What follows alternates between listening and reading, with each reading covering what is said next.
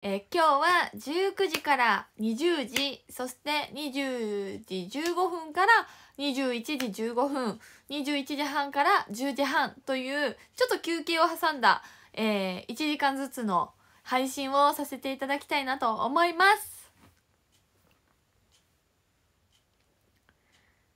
はいということですごいイベントに初めて今回私熊崎遥は参加させていただいたんですけれどもあれなんですね。あの左に「イベント」って言って支援ゲージって何なんだろう。支援ゲージイベント？お今こうやって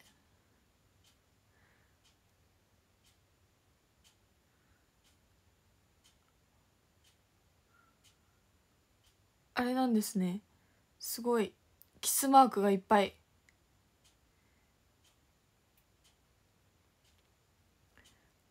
ありがとうございます。星もいっぱいありがとうございます。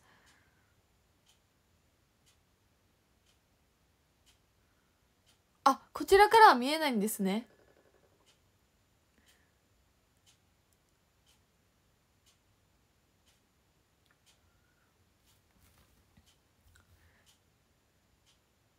すごい。今日さそうあまり私もちょっと勉強しながらと思ってちょっとちゃんとパソコンをパソコンをさ持ってきました。パソコンでいろいろ調べられるかなと思って。で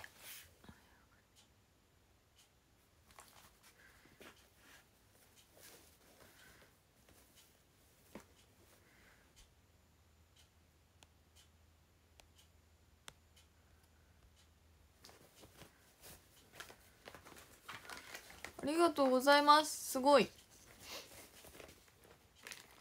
いろいろ見えるんですね。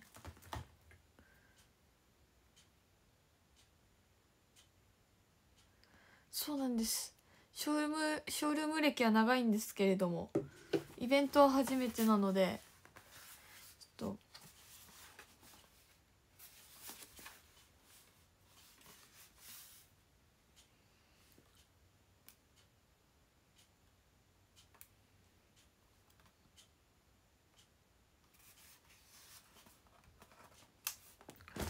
パソコンの電源入れました。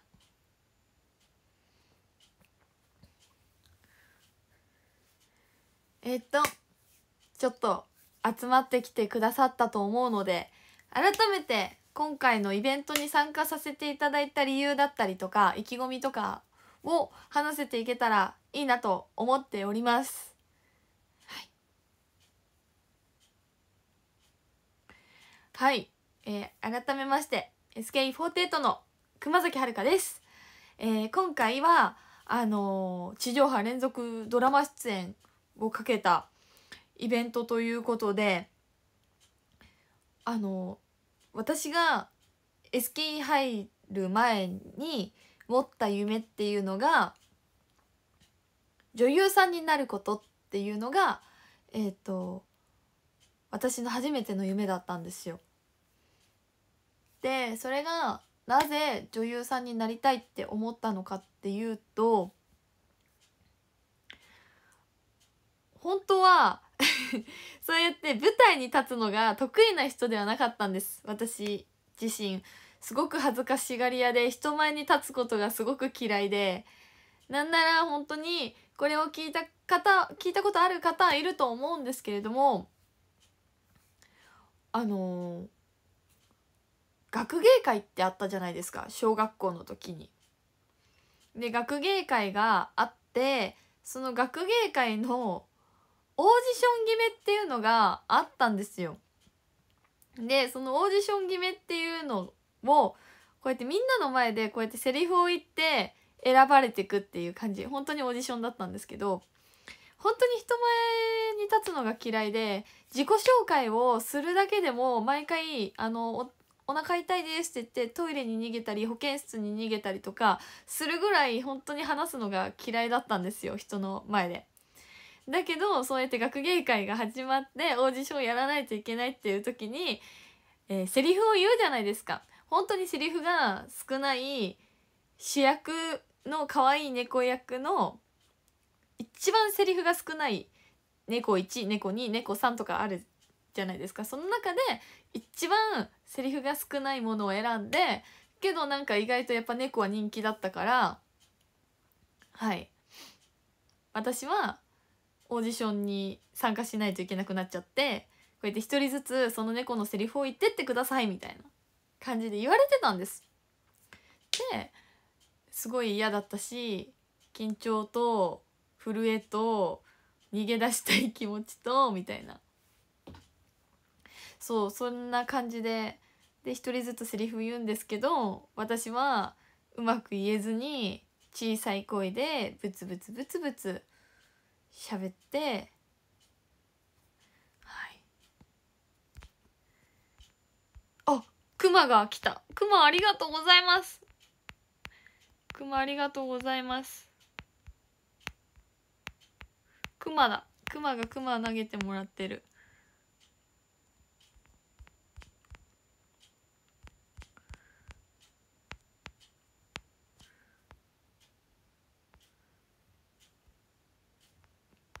クマありがとうございますそうだよねちょっと見失わないようにしないといけないえー、っとあなんかかわいいなんかハートのネズミみたいな えっとあ、どうも皆さん。ありがちゃダメだもんね。はい、ありがとうございます。ごめんなさい。名前を呼んじゃ、読めないので、あれなんですけれども。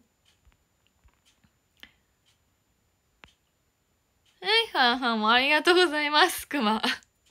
あ、えはいはん。こんな感じで、ちょっとごめんなさいね。本当に気持ち的には名前を言いたいんですけれども。そうだね。ごめんね。私が喋って喋り通して。あいのほうはんもありがとうございます。あいのももさん。もう本当に何言ってるかわかんない人だよね。不審な人。えー、すごい。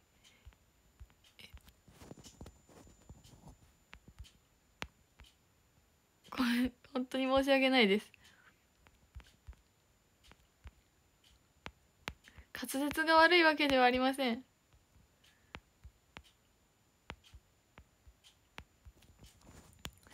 滑舌が決して悪いわけではありません。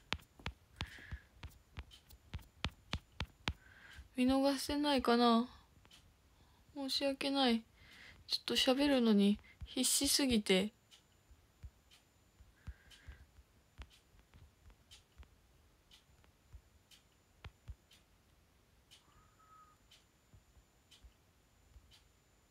なんか、はんははんもありがとうございます。もうなんか、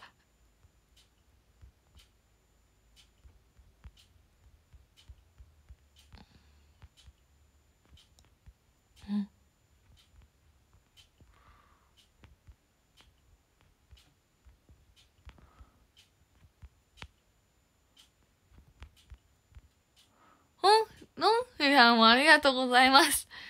本当に。だって、不慣れすぎてごめん。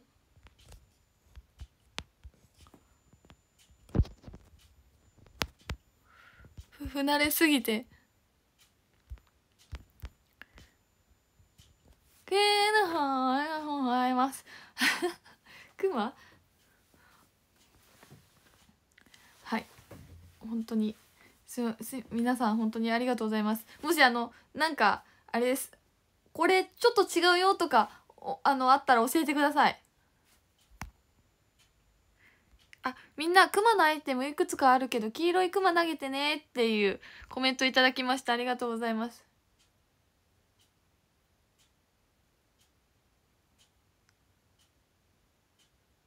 普通に名前言えばいいんじゃない？名前言っちゃダメって聞いて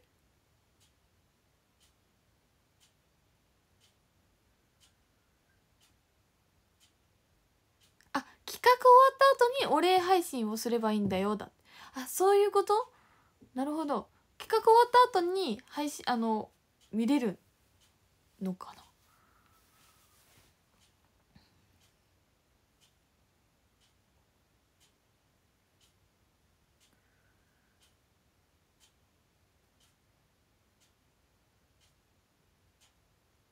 ミラーボール。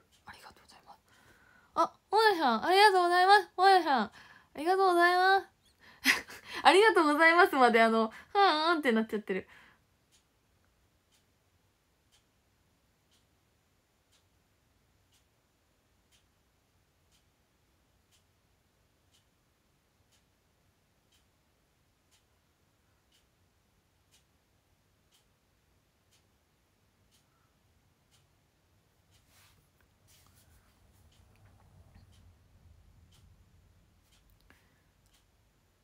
あなるほど。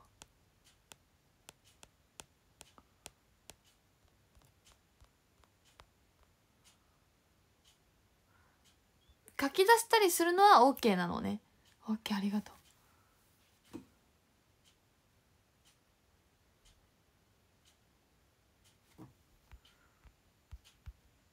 え質問していいですか皆さんに。後からまとめてあの読み上げるっていうことは可能なんですか？読み上げるっていうかあの読み上げちゃいけないんですけどあの名前を書いて「ありがとうございます」っていうことはできるのかな？見れるのかな？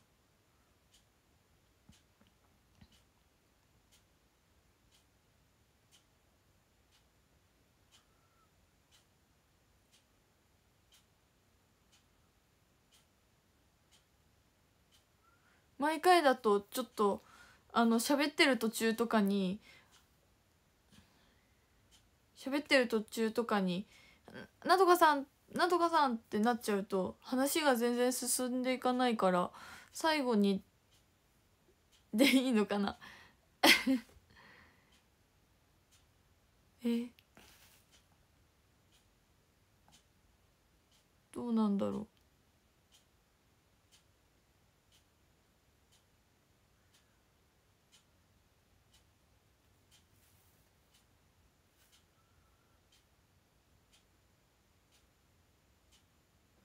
うスケイルールとかになるからこれは確認した方がいいようだって。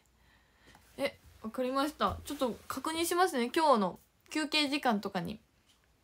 確認します。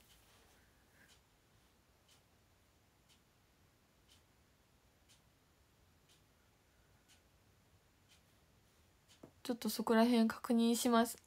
ありがとうございます。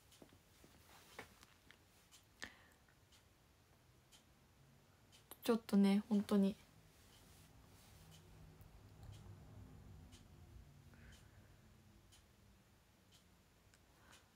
はいということでちょっと確認させていただきますこちらに関しては。そしてもう一つその ルール難しいね。ごめんね。でなんでそうでオーディション受けてでうまく言えずに猫の役もらえずにアホウドリっていうなんかよくわからない役になってねアホウドリの役って何なんだ可愛くないとかいろいろ思ってたんですけどでもうほんと演劇とかもそんな好きじゃなくてそういうのもいいやもう地味に地味に目立たないように生きてこうっていう。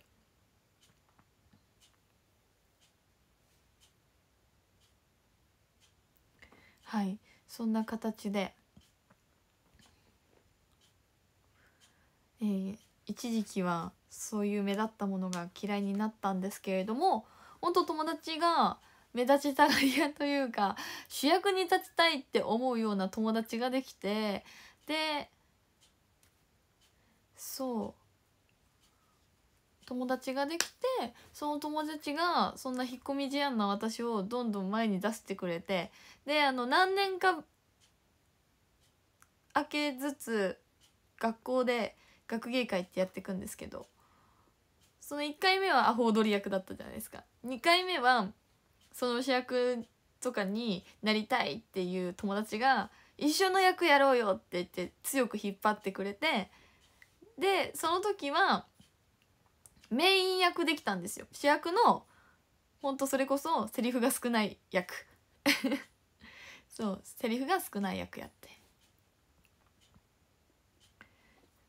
でけどそのセリフが少ないからこそちょっと自信を持って立つことができてであなんか主役のセリフは少ないとはいえちょっとできたから嬉しいなっていう気持ちがちょっと芽生えてで小学校最後にはもうその友達の影響で目立つことが好きになって、はい、最終的にはその学芸会最後の学芸会はあれでした。あの最後の学芸会はあれもうセリフが一番多い主役の役をはいオーディションで選んでいただいてそうなんです。でやっぱちょっと選んでいただくと自信持てるじゃないですか。自信持っていけるじゃないですか。ちょっとできたっていう。でそこからどんどんどんどんあもっと前に出ようって。それこそ中学校の時とかはあの指揮者合唱祭の指揮者やったりとかそうクラスの指揮者もやったし学年全体の指揮者とかもやったりとか結構そういう目立つ行事をやるようになったりとかしたし性格が変わっていったんですねどんどんどんどん。今日本当友達の影響でありがたいなって思うんですけれどもそういうこともやるようになったりで同時に中学生の時に友達が一緒に中学生日記受けようってそう言ってくださってで受けたんですよオーディション。中学生日記の NHK さんの。そう。中学生日記のオーディション受けに行って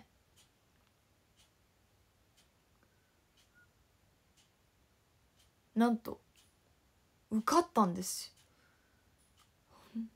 オーディション。受かって中学生日記に出させていただけてでそこでもまたなんか面談というかお話？オーディション？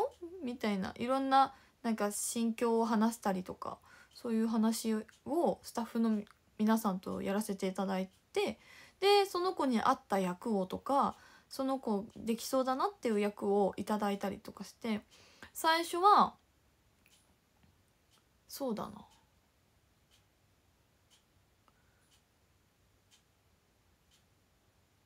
最初はそうあのあれなんです。ちょっと脇役だったりとかセリフがない役とかもありました。けどなんかそれもやっていく中でいろんな自分になれるっていうのがすごく楽しくて。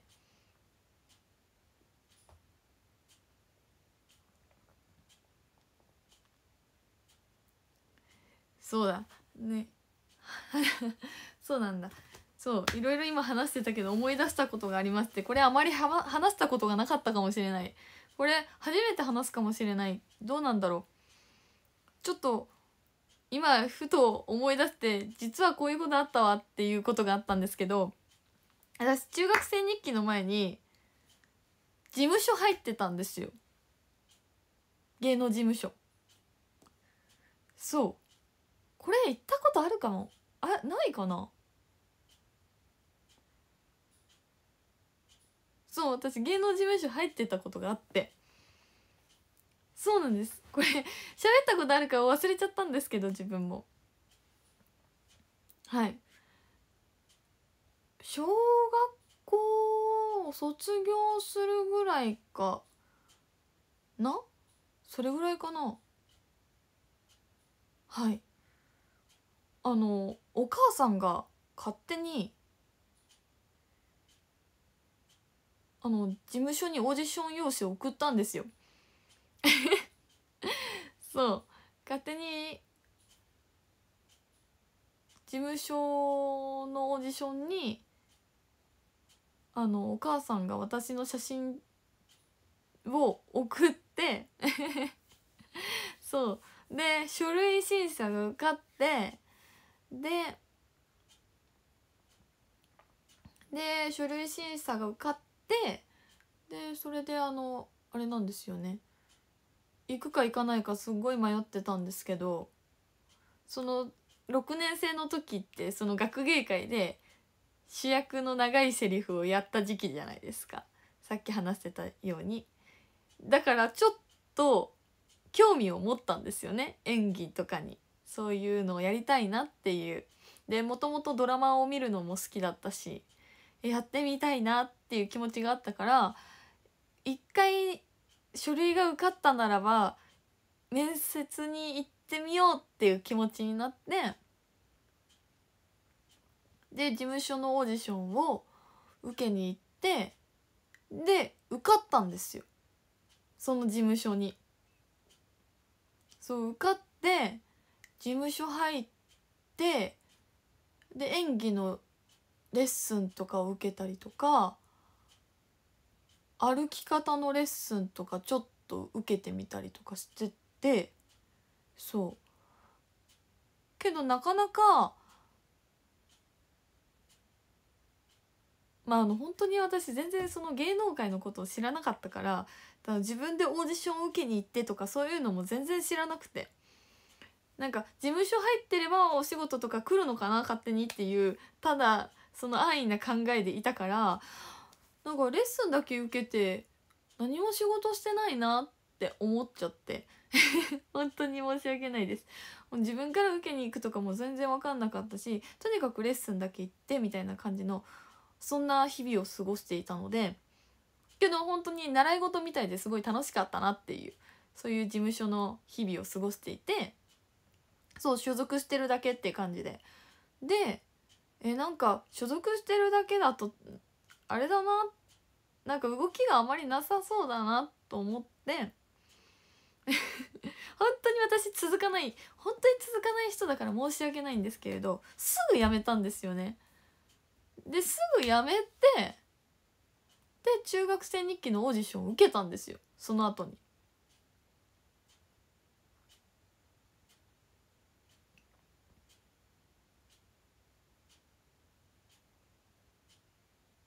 そう。でその後辞めた後に友達から中学生日記の話をもらってで中学生日記受けに行ってで中学生日記受かってでいろんな役やらせていただいてその時に初めてカメラの前でこうやって映像を撮っていただいたりとかというドラマに出演させていただけてめちゃくちゃ楽しいなっていう。そこで本当にあっ本格的に女優さんになりたいっていう夢を持ちました。その事務所に入ってる時もすごい演技指導をしていただいた時めちゃめちゃ楽しかったんですけどそう。楽しいけどそんなに頻繁に通ってるっていう感じでもなかったしだからその時の私も流れを今は覚えてないんですけどだけどなんかオーディション自分から受けに行こうってなって結局やめちゃってで中学生日記受けてそっからそういう映像の前ではい演技をさせていただいたりとかめちゃめちゃ楽しいし難しかったけどうわこうやっていろんな人になれるの楽しいってすごくその時思ったんですよ。でやっぱ私はそういう演技をやりたいっていう夢を持ってそこから。で決定打は本当に何があったかっていうとあの中学生日記で最後に初めて自分が主演のドラマ1話が決まったんですよ。そうあの「一りぼっちの動物園」っていう物語なんですけれどもこれが私にとって初めての主演だったんですよ。でこの物語はそのすごい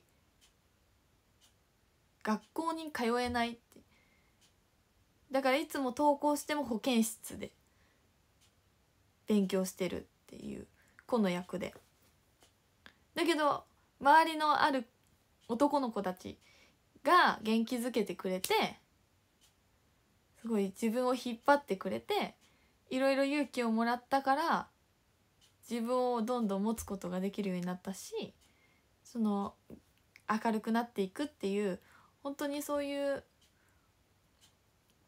あの学校での出来事とかそういういろんな悩みだったりとかそういうことを組み込まれたドラマだったんですけれどもけどそれを演じさせていただいてで中学生日記って見てくださってる方のコメントとか書き込みが見れるんですよ。こういう感想だったりとか送っていただけるフォームがあってそのフォームの中にこうやって書き込んだものが見れるようになってるんですよ。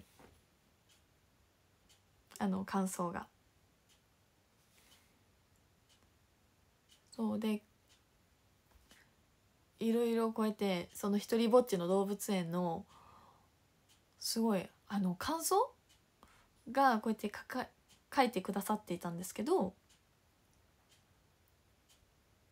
その感想にすごくあの同じ境遇の子がいてすごく悩んでいた時期があったんですけどこのドラマを見てあの生きる希望をもらいましたっていうコメントをいただいてでそれがすごくすごく嬉しくてその時の私なんて本当に演技もど素人だったと思うし、まあ、今もなんですけど本当にど素人だったと思うしあれだあの全然うまくなかったと思うんですけどうんこうやって何かが伝わってその人の人生を少しでも変えることができたんだっていうのがすごくすごく嬉しくて。そう。そうなんです。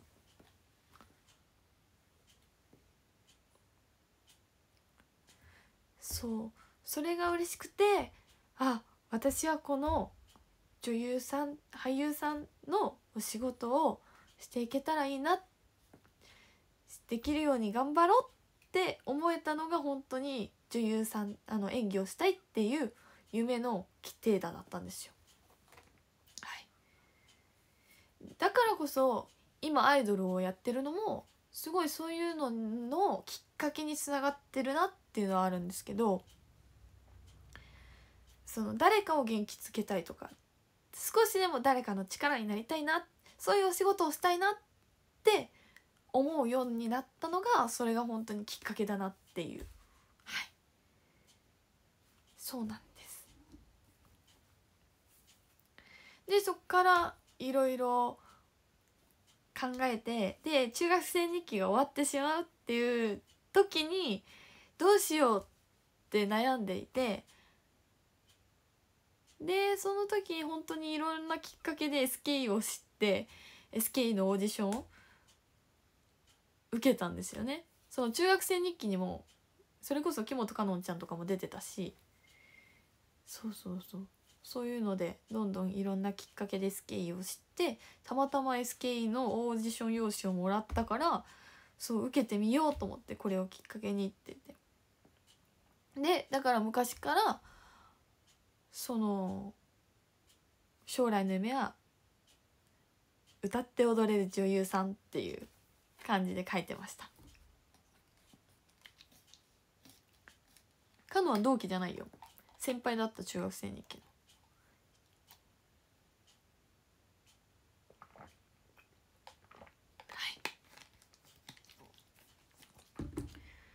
けど本当にアイドルは全然知らなかったからどんな感じか分からなかったんですけどけどそれこそ本当にファンの人の言葉とかであアイドルになってよかったなって。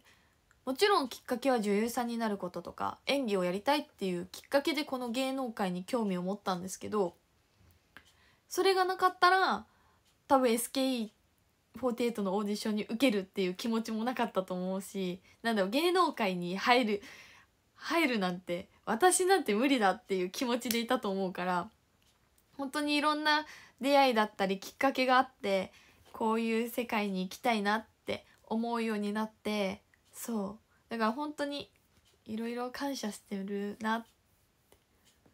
そう握手会得意じゃなかったよねって。そうなんです。そうなんです。握手会とか人と話すのが得意ではなかったので、まあ、今もそんなに得意なわけではないんですけどまあ、好きだけどあのうまく話せなかったりとかして。そう。だからけど SK に入ってからまた新たな夢とかも見つかったりとかして。SK が今今までの人生で一番つなあの続いているものでもあって。それぐらい好きなものに出会えたっていうのはすごく嬉しいし。そう。もちろん演技をやりたいっていう気持ちもあるしけどアイドルになってアイドルとしての夢とかも他にもいろいろやりたいこととか目標とするものがいっぱいできたっていうのはすごくすごい幸せなことだなっていう。楽しいなって人生。思うようになりました。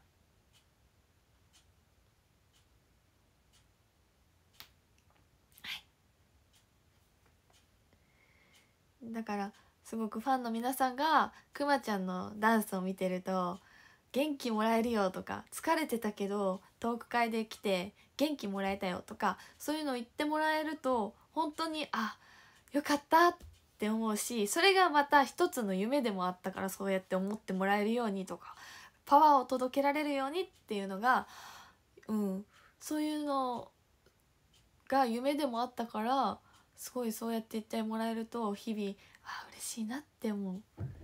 あ監督から来ました。皆さんこんにちは。本日よりイベントよろしくお願いいたしますっていう。よろしくお願いします。改めまして熊崎遥です。お願いします。はい。っていうお話でした。はい。だからもちろんアイドルとしての夢ももちろんありますしアイドルの職業ですごいいいなって思うのは本当にアイドルもいろんなものになれるっていうのはすごく素敵だなってやりたいこととかもだからこそ増えていくしだからすごくアイドルって楽しいって思います、はい、こちら審査員チームアカウントで監督は自身のアカウントで回りますだって。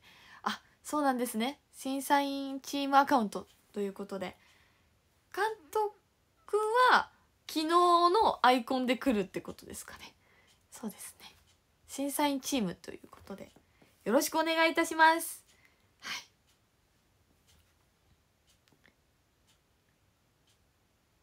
公式さんでしたね。って言ってそうですね。審査員さんだね。ってそうですね。よろしくお願いいたします。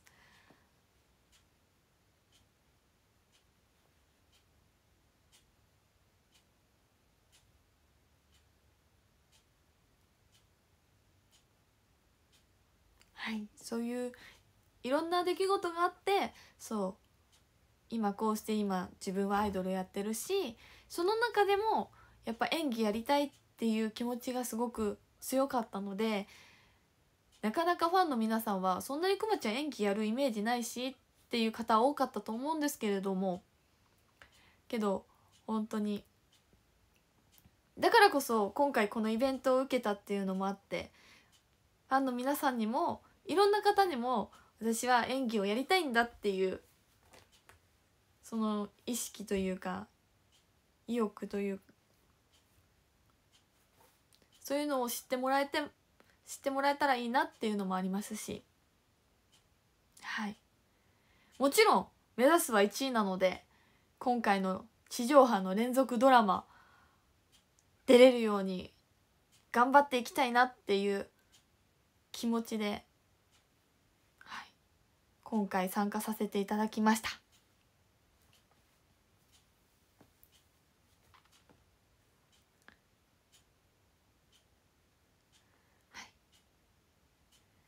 けど本当にそのアイドルやってる中でもすごい NHK さんで「ジモジョ」っていうあの短編ドラマにも出させていただいたりとかそれこそあの SKE 内で「ハムレット」とかやらせていただいたりとか。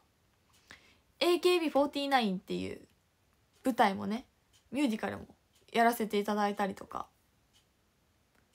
そう。でほんと去年だったら朗読劇「人間失格」に出させていただいたりとか。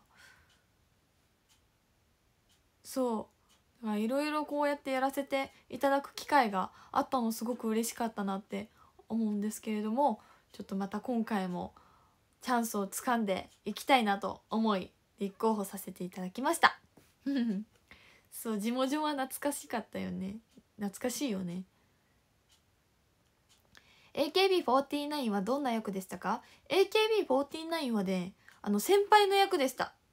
加藤留美さんと高柳茜さんと3人で先輩役でちょっと最初ちあのツンあのツンケンしてる？私たちの研究生時代はもっとすごかったんだからねみたいな感じの圧をかける先輩役でした。はい。けどその時は本当に私後輩だったので後輩感がすごい出てるからそれを捨てろってすごく怒られました。すごい。なんかただでさえ結構後輩感が強いって言われることが多いので私は。だからその時は本当に先輩の役だったので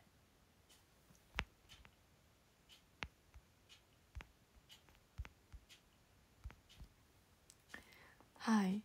あ監督が来た金森監督がメッセージくださいました。今日からイベントよろしくお願いいたしますという。よろしくお願いいたします。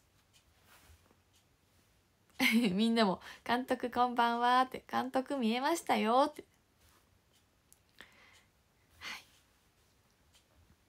今は立派な先輩ですよ。だって嬉しい。はい。けど本当にそういう役で。最初はその入ってきた子たちと仲良くなかった役でしたね。その49の時は。あのチュリさんのあの後ろでふんってやってる役でした。もっとすごかったんだからねっていうセリフがありました。はい。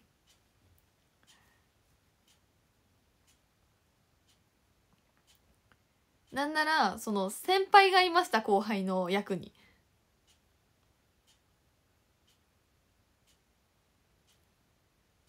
そう。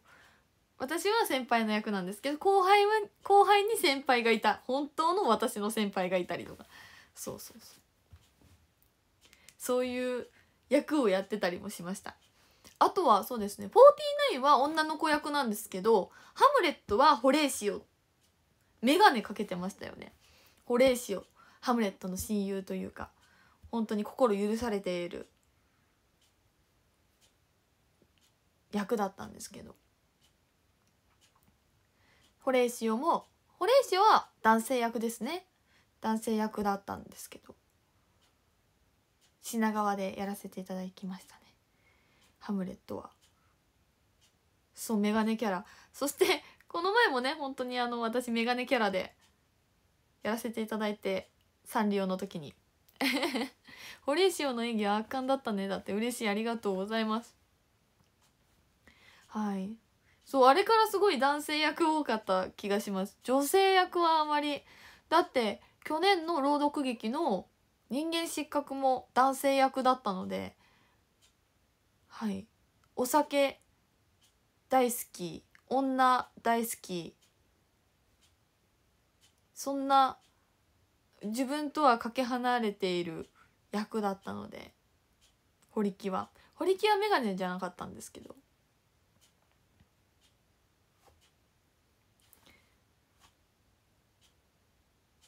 いろんなタイプの男性役もやらせていただいて。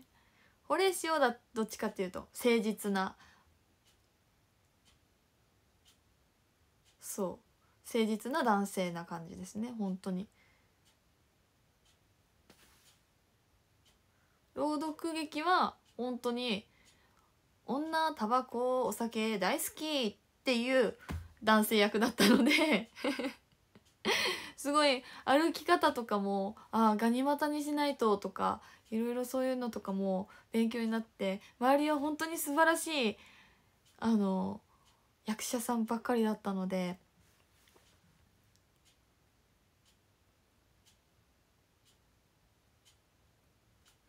はいすごく勉強になったというか。真逆なタイプでしたね。ポケットにいつも手突っ込んでるっていう。確かにそうです。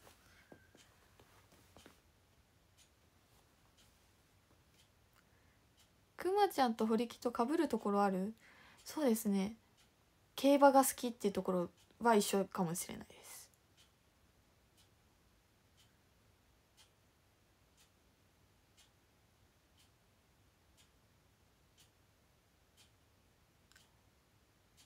そう。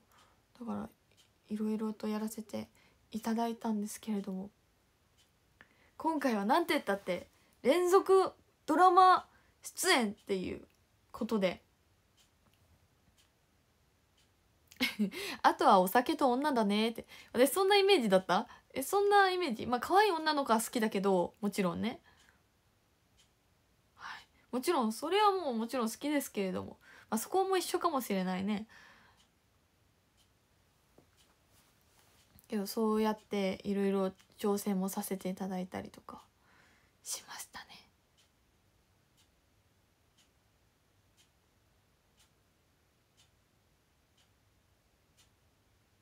そう日韓でっていう今回は韓国でも放送されるって日本でも放送されるっていうすごいですよね。でなんて言ったって1位はロケもあるということで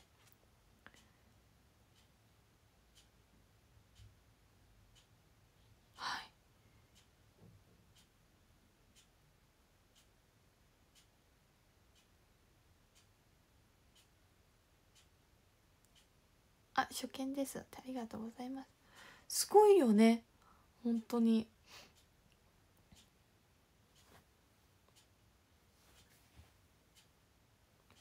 カンドラ見てるお母さんも喜ぶね。あそうですね。あのお母さんがあの好きだっていうことは立浪監督のあのインタビューの時にバレたと思うんですけれども。はい。あのお母さんがねあのジェジュンさんのライブに行った際に そう立浪監督のスタンドフラワースタンドが置いてあったからそうそうそうなんでかなっていう話を聞いてたから立浪監督にあのお会いした時にあのジェジュンさんのライブにお花っていう話でなんか k p o p の話をそこでちょっとさせていただいたりとかしてそれで多分お母さんが好きだっていうことを知った方は多いんじゃないでしょうか。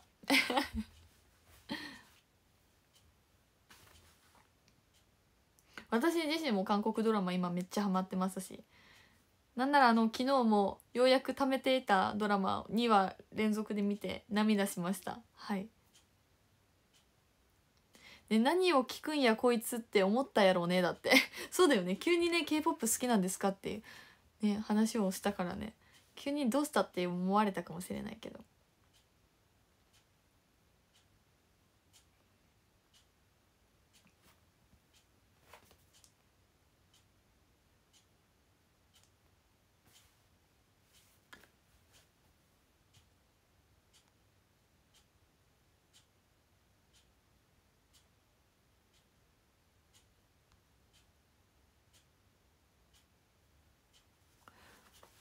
おすすめの韓国ドラマある？今は本当に今今見てるのは「ソンジェ背負って走れ」っていうドラマがすごい好きです。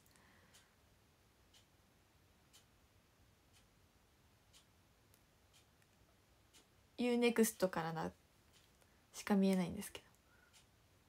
そうなんです。UNEXT あの YouTube に1話2話ぐらい無料で多分公式が出してるのがあると思うんですけれど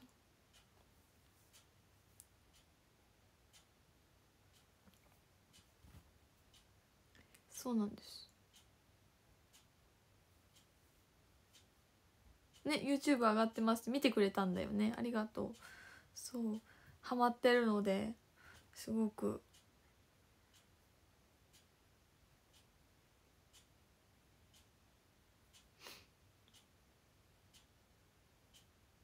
昨日言われたからちゃんと見たおすすめの韓国映画はありますか？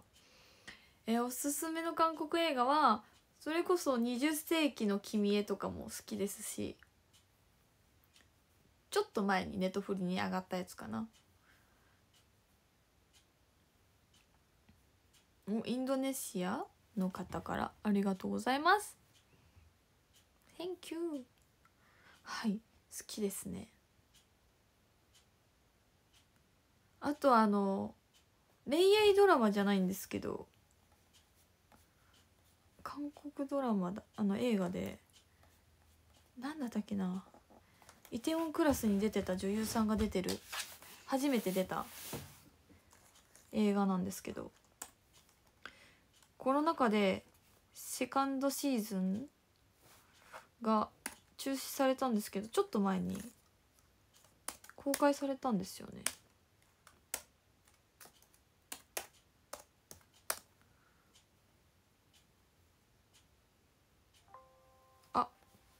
バッテリーが少ない。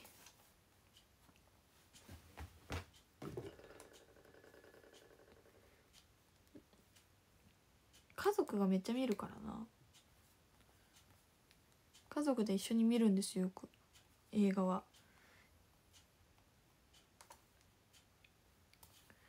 W i f i つながれ。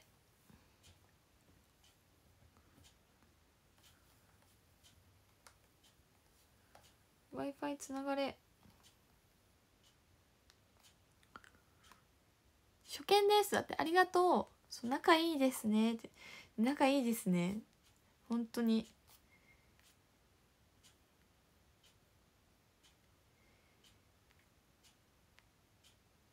えっとね。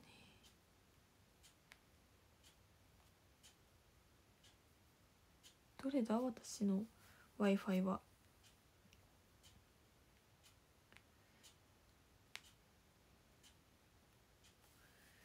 どこにあるかな？w i f i そういろいろお話しする時にパソコン持ってた方が便利だなと思って持ってきたんですけれど w i f i がつながらない。うん？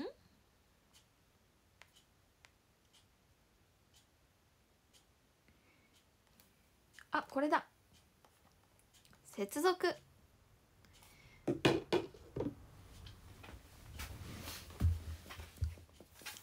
そう二刀流できるんです。あの結構このパソコンはドラゴンズの取材に行く時に持っていくパソコンなんですけれども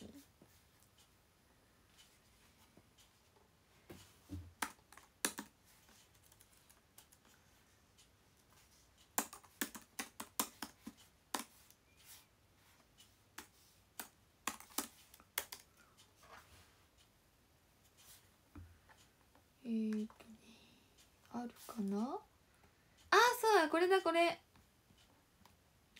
ザ・ウィッチ魔女っていうやつですね。パラサイトとかもすごい有名だったと思うんですけど。すごいザ・ウィッチ魔女っていう映画がめちゃくちゃ好きです。とっても面白いですこれ。これ本当に家族で見てたんですけど。あの結構あの私が好きな恋愛ドラマとか少女漫画は男性の方とかちょっと少女漫画はとか言われること多いんですけどこれは多分誰でも見れると思います。めちゃくちゃ好きです。そうパラサイトは有名だと思うんですけどこれも結構有名だと思う。ザ・ウィッチ魔女ってやつ。めっちゃ面白い。どんでん返し。字幕で見ることが多いですね。どっちかっていうと私は。けどあの家族で見る時は字幕じゃない時もある。吹き替えを見えこれは絶対つい最近その2作目が公開されていた。そうなんですよ。2作目ねなかなかね出てこなかったんですけど。そう一回コロナ禍でって聞いた時はすっごい悲しかったんですけど最近また2作目が出てきてくれたのですっごいこれ面白いです。あ大学時代にパソコン使い慣れてる？あそう使い方に苦労しました本当に。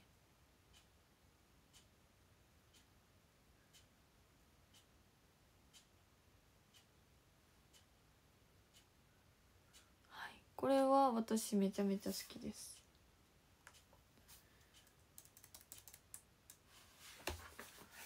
おすすめ。これは刺そう刺せるところあるかな。充電がないからもう刺したい。どこかに。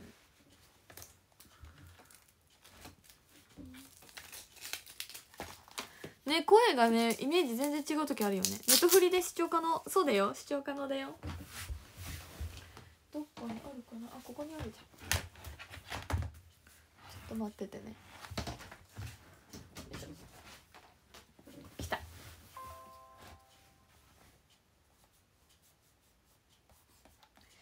そうなんだよね。パソコンね。私まだまだそんなに使いこなせてないんですけど大学の時にちょっとパソコン使ってたからまだ若干多少使いこなせてんのかな。いやけどそんなだよね。まだそんなカタカタカタカタ。ネットフリから見れるから見てみます。だって。見てみてくださいぜひ。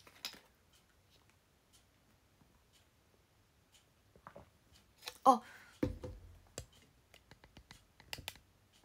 あ充電なくなっちゃったなこれ。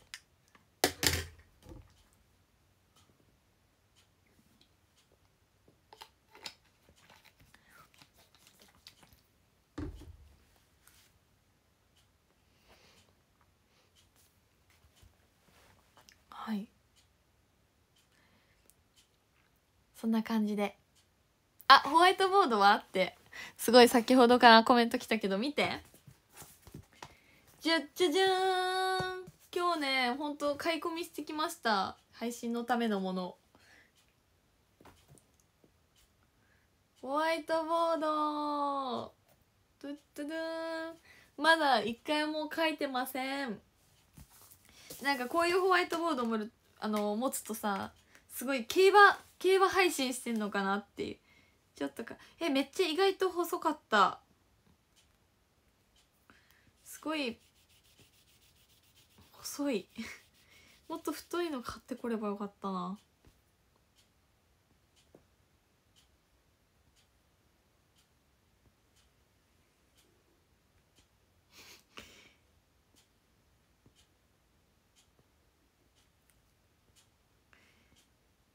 えクマ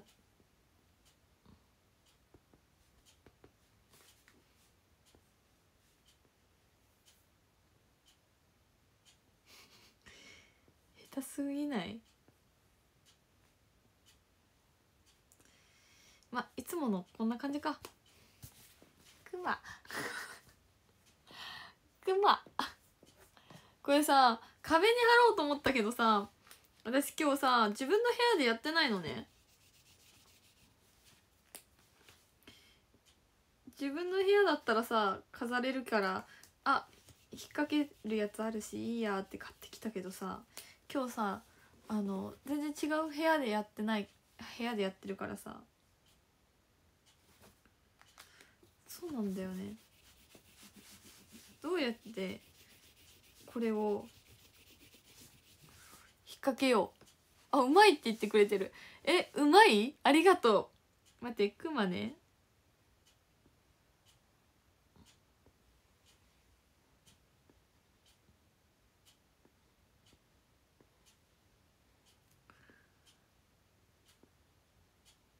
わ可愛くないクマだな。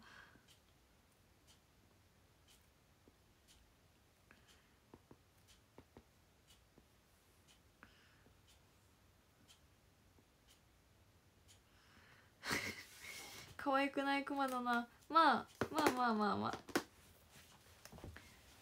うっ。すやっぱちょっと明日買い直してこようかな。ちょっと薄すぎない？ちょっと薄いない？立てかけとくと下になっちゃうんだよね。あダメだ。首にかけられる。頭でかいわ。太くかけば？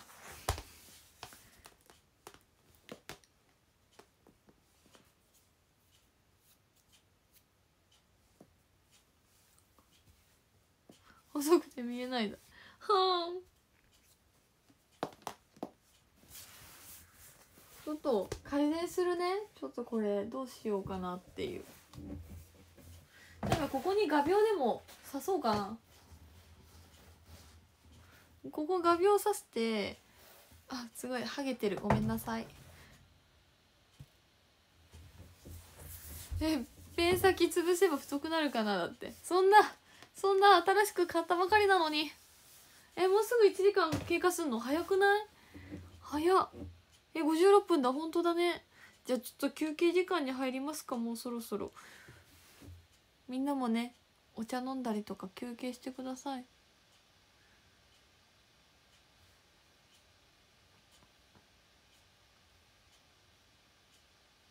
あっという間に1時間だね。15分後に会いましょう皆さん。お風呂入ってきます。15分でお風呂入れるの？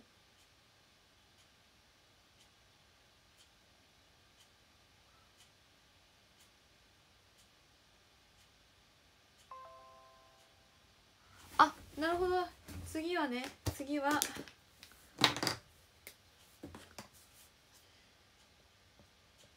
うっす。えー、っと。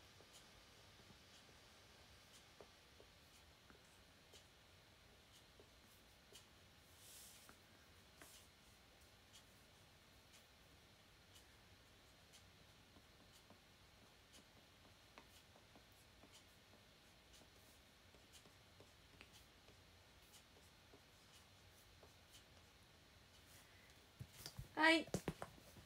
次は20時15分から絶対来てね。この薄さやばくない？ちょっと本当に悲しい。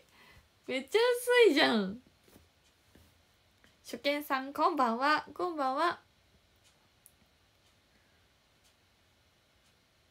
20時15分から来てね来てね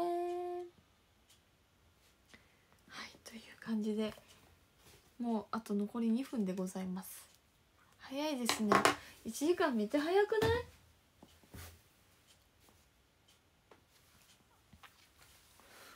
若干反射してる。すごい。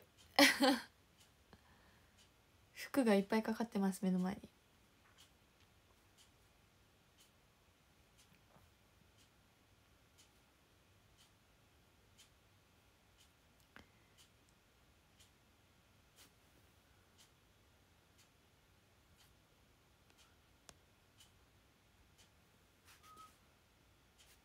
ちょっとスクショしておこう。待ってね。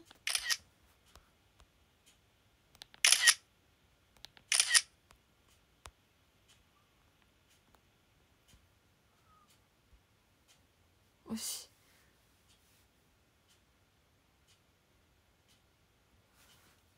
皆さんも本当に7時から本当にありがとう来てくださって。この後もよかったら遊びに来てください。